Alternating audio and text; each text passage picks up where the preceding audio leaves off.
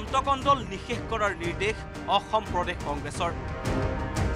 লোকসভা নিৰ্বাচনত জড়িত হ'ব লাগিব সকলো বিধায়ক। বিষয়ববীয়াৰে নতুন ৰণনীতি প্ৰস্তুতিৰে লক্ষ্য অসম প্ৰদেশ কংগ্ৰেছৰ। অসম প্ৰদেশ কংগ্ৰেছৰ ভিতৰচোৱাত চলি থকা অন্তকণ্ডল নিষেধ আৰু সংকটপোচন কৰিবৰ বাবে তৎপৰ হৈছে এ পি চি চি। যাৰ বাবে বুধবাৰে গুৱাহাটীৰ ৰাজীৱ ভৱনত সভাপতি ভূপেন বৰাৰ উপস্থিতিত অনুষ্ঠিত হয় বিষয়ববীয়াৰ বৈঠক। তিনি ৰাজ্যত পৰাজয়ৰ পিছতেই দলৰ অন্তকণ্ডলসমূহ দূৰ কৰাৰ বাবে নিৰ্দেশ প্ৰদান কৰিছে এ পি চি চিয়ে। লগতে লোকসভা নিৰ্বাচনত বিষয়ববীয়াসকলৰ সৈতে নতুন ৰণনীতি প্ৰস্তুত কৰাৰ লক্ষ্য লৈছে অসম প্ৰদেশ কংগ্ৰেছে। নেক্সট তিনি মাহৰ কাৰণে আমি কোনখিনি কাৰ্যসূচী লৈ কি ধৰণে গৈ পেলাই আমাৰ তৃণমূল পৰ্যায়ত কাম কৰিম তাৰ এটা পৰিকল্পনা আমি গোটাই লৈছোঁ। সেইটো ক্ৰছ চেকিং প্ৰক্ৰিয়াটো আজি আমি- আমাৰ পৰা আজিৰ পৰা আৰম্ভ কৰিছোঁ।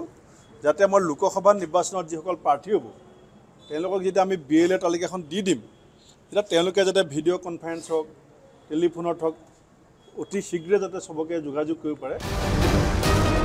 দুহেজাৰ চৌবিছৰ লোকসভা নিৰ্বাচনলৈ তিনিমাহ বাকী থকা অৱস্থাত অসমৰ বিধায়কসকলক জড়িত কৰাৰ বাবে দায়িত্ব দিয়া হৈছে কাৰ্যকৰী সভাপতি জাকিৰ হুছেইন চিকদাৰক।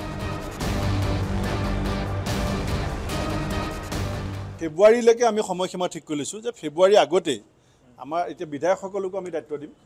আজি আমাৰ বিধায়িনী দলৰ দলপতি আৰু আমাৰ ৱৰ্কিং প্ৰেচিডেণ্ট জাকিৰ হুছেইন চিকদাৰ ডাঙৰীয়াক দায়িত্ব দিছোঁ যে বিধায়কসকলকো এই গোটেই প্ৰক্ৰিয়াটোত আমাৰ চৌবিছগৰাকী বিধায়ককো কোন ক'ত যাব সেইখিনি আমি আজি দায়িত্ব দিছোঁ তিনি ৰাজ্যৰ নিৰ্বাচনৰ পৰাজয়ে অসমৰ ক্ষেত্ৰত কোনো প্ৰভাৱ নেপেলায় বুলি মন্তব্য বিধায়ক জাকিৰ হুছেইন চিকদাৰৰ লগতে তেওঁ ক'লে অসম প্ৰদেশ কংগ্ৰেছত নাই কোনো সংঘাত আৰু কেতিয়াও নাথাকে।